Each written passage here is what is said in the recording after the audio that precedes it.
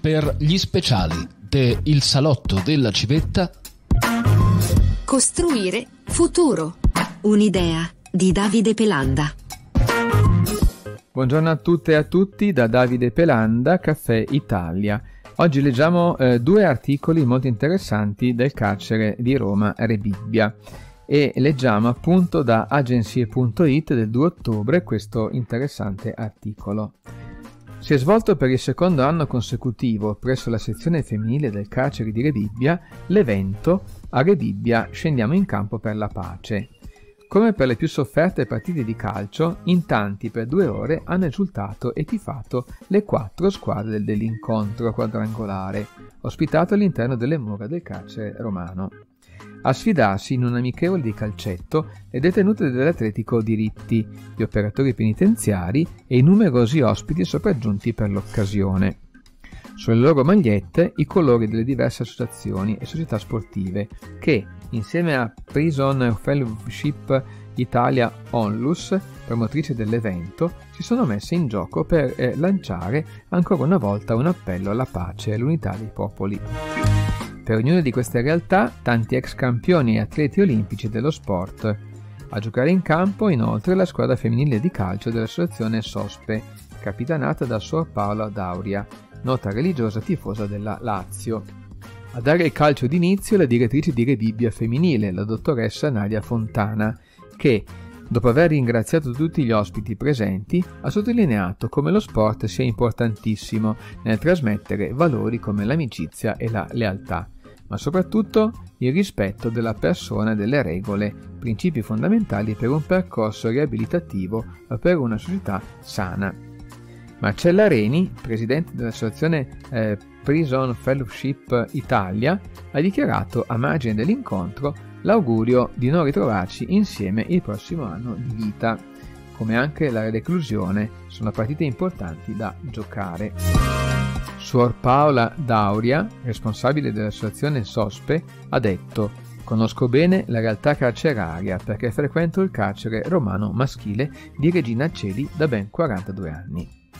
Ma vedere giocare queste ragazze in campo per la pace è davvero emozionante perché, rispetto all'ambiente maschile, esprimono tutta la loro voglia di fare squadra, di dare il meglio divertendosi e comunicando la bellezza e di stare insieme per un obiettivo comune.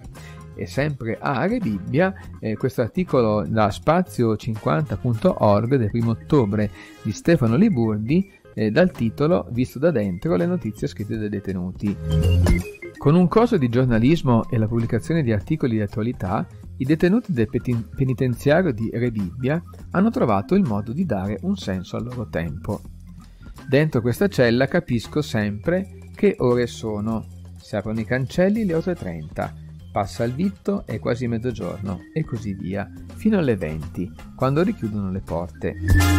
Riconosco i giorni della settimana dai prodotti che arrivano con la spesa e da come si comportano le persone. Luca, in un articolo uscito sul quotidiano Il Tempo, descrive così il trascorrere dei minuti, delle ore, dei giorni, dei mesi e degli anni della sua detenzione. Il carcere è il luogo del tempo dove questo si misura ogni giorno, eh, ogni istante, ma può essere anche un luogo senza tempo, dove ci si abbandona all'ozio e all'indifferenza, uno spazio temporale da far trascorrere al più presto, per tornare dopo alla vita, come prima, che spesso purtroppo riporta in carcere. La vera sfida si combatte nei penitenziari ed è dare valore al tempo, dargli un significato e utilizzarlo. Far diventare la detenzione uno spazio da riempire, magari avviando un programma di reinserimento culturale e di formazione, utile per progettare il futuro in carcere e fuori, come detta dell'articolo 27 della nostra Costituzione. In quest'ottica si inserisce l'iniziativa de Il Tempo, che ha deciso di pubblicare articoli scritti dai detenuti in una pagina settimanale a loro riservata. In Visto da dentro, gli autori degli articoli non raccontano solo la loro vita detentiva, ma affrontano, da una diversa prospettiva, i temi che più fanno discutere l'opinione pubblica. I detenuti del carcere di Rebibbia Nuovo Complesso raccontano i principali fatti di attualità. Lo sguardo sul mondo di chi da quel mondo è escluso. recita infatti l'introduzione della pagina.